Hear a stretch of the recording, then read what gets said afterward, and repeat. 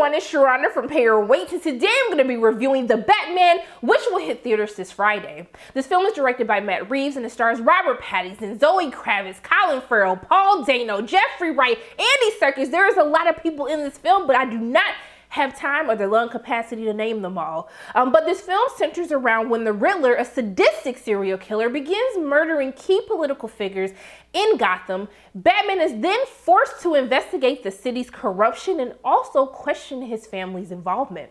So for those of you who are new to my channel, welcome, hello, so glad you came, I hope you stay. I'll tell you what I liked about the film, what I didn't like about the film, and should you pay your way to see the Batman in theaters this weekend.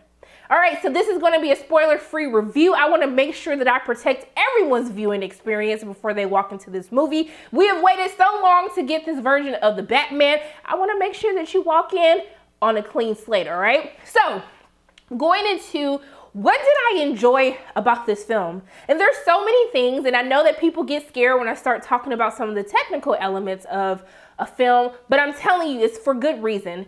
You know, before I can really delve into the acting performances, I really have to give kudos to um, Michael Giacchino. He's an Academy Award winning composer. Um, the score for the Batman is just on another level. It's so good. It's so good at its use of sound throughout the film, um, especially as you get a lot of different type of genres. There's some there's some kind of horror elements and just by the use of sound where you can hear footsteps coming, but you can't see anything. It's these little things that Michael adds into the composing for all of um, this film that it just takes it up just a few more notches of already a spectacular film to watch. Um, I know we're probably going to talk a lot about this in the award season. I hate even bringing up awards, but baby, when I tell you that Michael put his foot into the score for this film, he did the dango thing, and it really helps elevate the film in so many different ways. And I hope that a lot of people watching it that they can really appreciate just the use of sound, the score that is used, even for the different characters, is just so well done. But as how Gotham looks as a city, Gotham looks good, y'all. It still has the dark, that dark tone to it, these dark characteristics, but Gotham just feels like a different world that I have not seen before in another Batman film. Um, the production design for this, it just looks so good. Um, I think people are really going to love the look and the vibe of Gotham, especially as we get into different set pieces throughout the course of the film. Now, one of the things that I do appreciate about the Batman, this is not going to be your typical comic book movie, okay? Let me say that one more time for the people in the back in case they didn't hear me. This is not going to be your typical type of comic book movie, but I think that's what makes the Batman so fun to watch. There are so many different elements that you get out of this film. There is a horror aspect, especially as we start the film. It's like a, a murder mystery, but like a psychological thriller. You know, one of my favorite genres is psychological thrillers. There is this case that they're working on. These political figures keep ending up dead.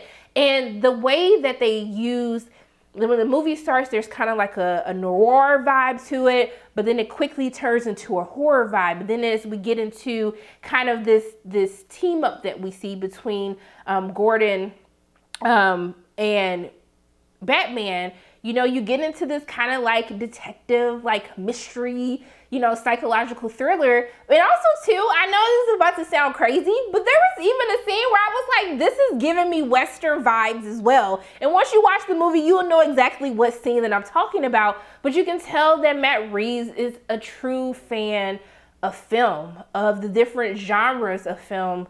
Um, you know, that the world has. And I just love how it was so effortlessly to weave all of these different genres into a comic book film.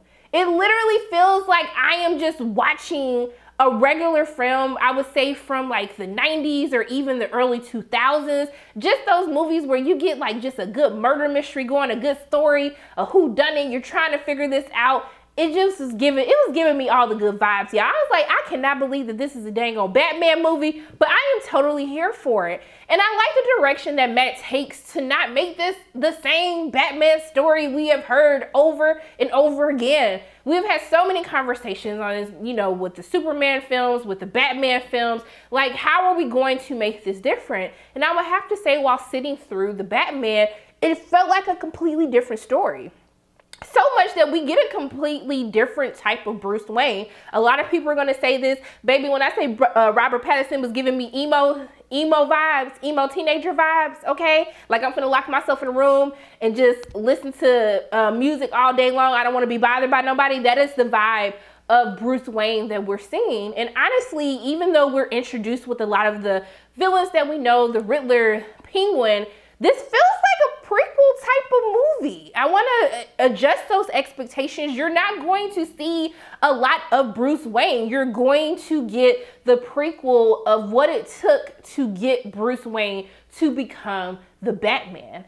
And I appreciate that. There's mistakes that are going to be made. There's there's things that he is going to have to go through to really understand what his true purpose is. And I think because Matt Reeves decides to take a different focus for this film, I think that's what actually makes it enjoyable. But I can't just, Robert Pattinson, baby, I don't want to hear y'all slander this man's name never, ever again in life, okay? Y'all gonna put some respect on Robert Pattinson's name.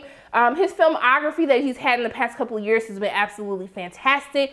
And just the acting that he gives to this character, even the changes in his voice. If you know what Robert Pattinson sounds like, um, the just the simple change in his voice to actually become Bruce Wayne, baby. He when I said he was given it, he understood the assignment. Okay, he understood it. Now, it's not just Robert Pattinson giving great performances in this film.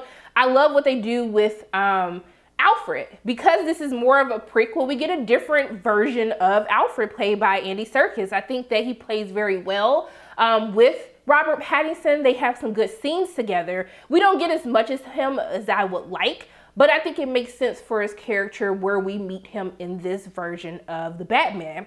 Also to Paul Dano, I don't know what Paul Dano has been through in his life, but the way that he can play crazy madman and make me think that something is really wrong with him. When I say that Paul Dano gives his all to the role of the Riddler, he is absolutely fantastic, loses himself within the role. If you've watched any of his previous work, when they announced that he was going to be the Riddler, I was like, baby, Paul always understands the assignment. I wasn't worried about it but he definitely was the one to watch. One of the most memorable characters for me throughout the course of this film. Now, while we're talking about losing ourselves in a role, Colin Farrell, first of all, this is how you do prosthetics.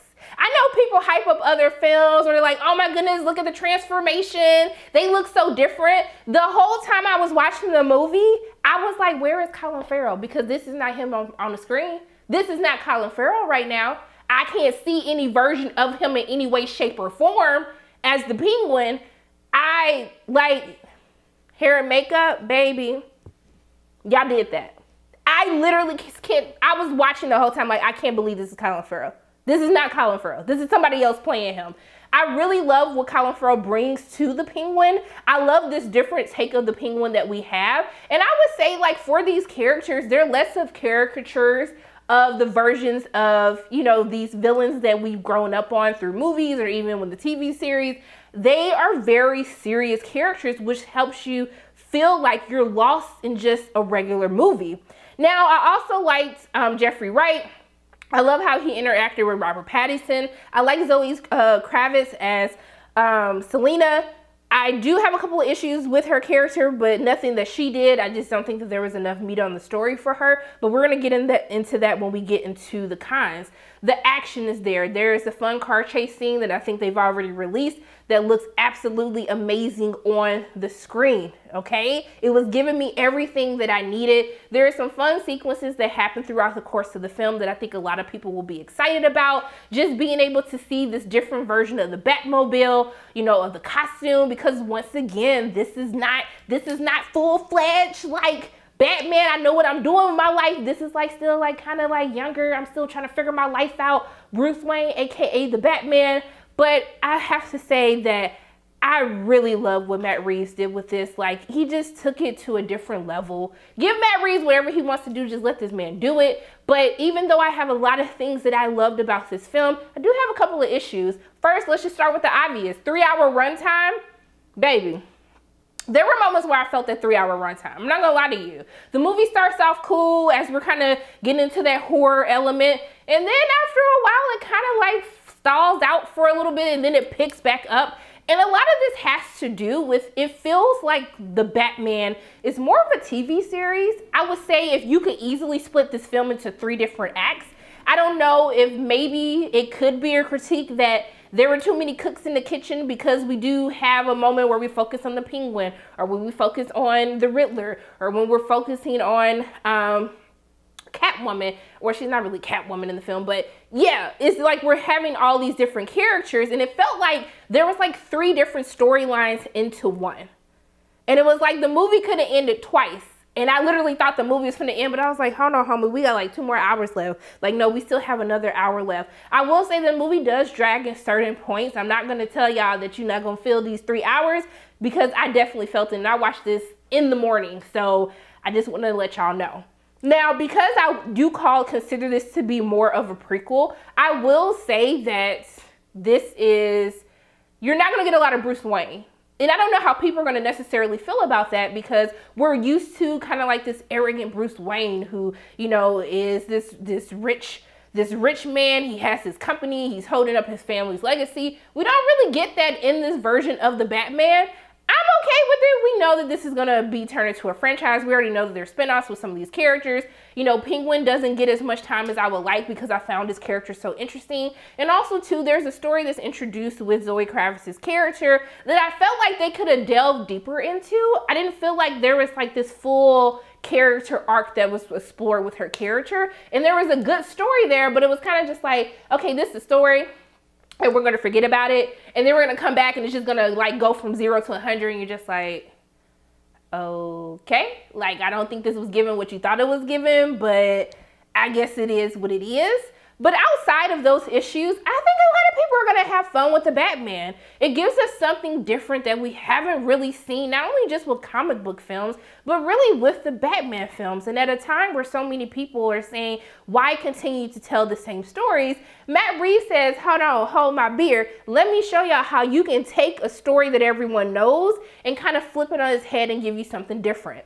Now, there is something they do with the character towards the end of the film that I don't know how it really sat well with me. I'm interested to see everyone's reaction to that after they watch the film.